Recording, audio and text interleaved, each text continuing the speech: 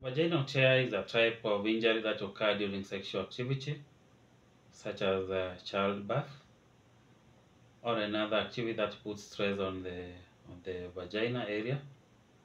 So, and there's, the tears uh, can range from minor cuts or grazes to more serious lacerations that involve deep tissue damage. So the, vaginal tears are very common, or tears or tears can be are very common depending on how you pronounce that one. Maybe you can tell me on the comment section how you pronounce that one. Guys, the channel is uh, Future Talks, and if you have not subscribed to our channel, I want to encourage you to subscribe. And if you have any support for our channel, guys, uh, in our details about the channel, we have our contacts there on how to reach us and also give uh, that support. And also for the comments, you can give your comments and also you can DM so that we get to improve the channel and also get you the best which we which you want. We want this channel to go to the next level and thank you always for coming back to the channel and also watching the channel. So what are the some causes of the vaginal tears? Uh, they include childbirth, so one can tear when giving birth to a child.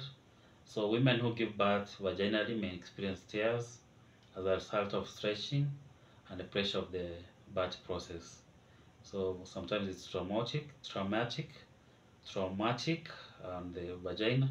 So someone can get that uh, tear uh, through childbirth. Another way one can get that uh, vaginal tear is about sexual activity especially when it is rough or forceful sexual activity, can cause tears or lacerations in the vaginal area.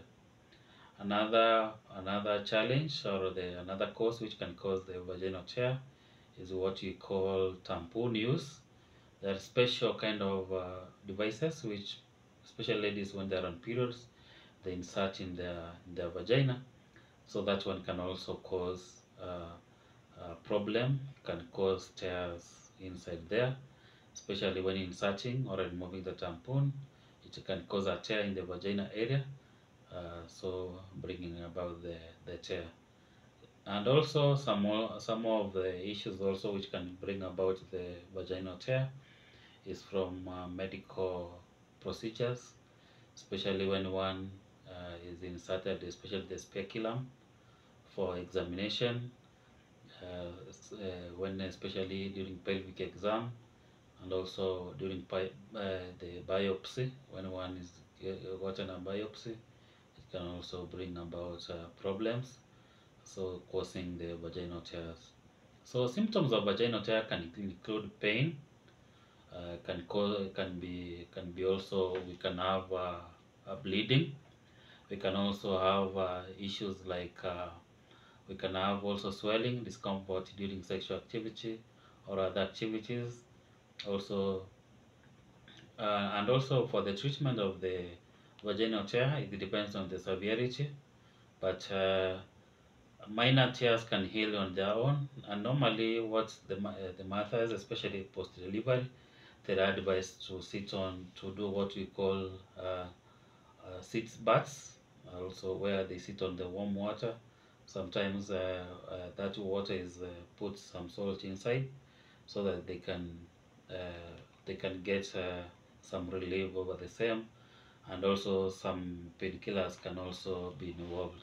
But also some tears if the especially the vaginal tears if there is third degrees second degrees there is a way they are surgically repaired especially by the gynecologist. But here in africa most of the times the midwife who repairs, especially the childbirth kind of uh, those kind of thing uh, of, of tears. So with the minor tears, we want you to practice hygiene and also do those sitz baths so that you get uh, well. But severe ones, they need me medical attention and also they can be sutured, like I said, they can be repaired in the hospital setting so that the, the lady gets uh, comfort. So for the prevention of those uh, uh, vaginal tears. Uh, sometimes they are inevitable, especially during childbirth, because also there's a special kind of tear which is, which is given to give uh, more room for the baby to come out then it is sutured afterwards so like during that process it's very not very easy to get uh, sometimes it is inevitable that you get you must get uh, uh, that kind of uh, of, of, uh, of tear so preventing vaginal tears can be difficult in some cases but there are steps that can make you reduce the risk of injury here and I want to give you some tips on how you can avoid those uh, uh, kind of uh, vaginal tears. Number one is about use of lubrication, especially using uh, water-based lubricant during sex can reduce help reduce friction and make penetration smoother, which can help prevent the tears. We have uh, lubricants which are uh, water-based. They are very important, so they help one to not to get into tears. Like uh, we have what we call KY jelly it really helps. So during this uh, if you have experience or you want to prevent such kind of uh, tears. So with dry vagina lubrication is very important. And remember to use water based I've not talked about oil or using glycerin because also this can bring a lot of problems another very important thing about uh, preventing the tears is about safe sex. Practicing, uh, practicing safe sex by using condoms or other barrier methods can help reduce the risk of sexual transmitted infection, which can increase the risk of uh, the vaginal tears. So, and also another very important thing is about communicating with your partner. If you start experiencing pain, if it's dry kind of experience, talk about it so that you find the most important technique, the most comfortable technique and also positions that are comfort comfortable uh, for both of you. So communication is very important uh, to get uh, uh to the comfort of that uh, uh, of that partner. Another very important aspect of the same, especially for the partners involved, is to be gentle, avoid rough or forceful sexual activities, as this may increase, may increase the risk of uh, vaginal tears. So men take care of that. And also ladies, uh, avoid that one. So practice good hygiene also. Uh, with good hygiene, keeping vaginal area clean and, and dry can help reduce the risk of infection and irritation and can increase the, uh, so that uh, because irritations and also infections uh, increase your risk of being having those vaginal vaginal tears. Another very important aspect, it's last but not least, seek medical attention. If you are experiencing any symptoms of vaginal tear, such as pain, bleeding, discomfort during sex, seek medical attention right away. Early treatment can help prevent complication and also prevent uh, uh, healing. So very important, seek your medical attention from your doctor uh, your midwife or your medical practitioner to always help you on over the same. So that those are very important issues which you should uh, look at and I want to encourage you that to avoid those uh, vaginal tears those are what the steps you should uh, you should consider. Some of them are inevitable but it is what it is. Follow the right uh, channel to get help as early as possible.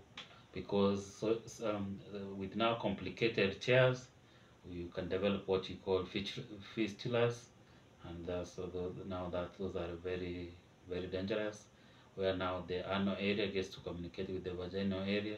So you get the, even the feces now coming through your vagina coming out. And what you don't want you to get to that level.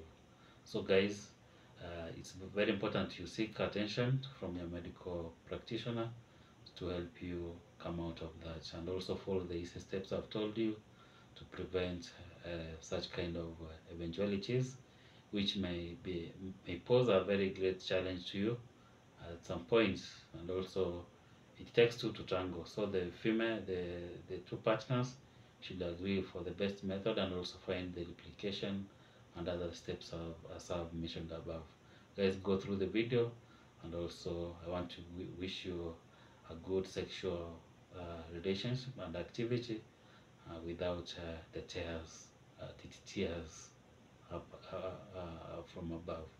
Guys, this channel is Future Talks.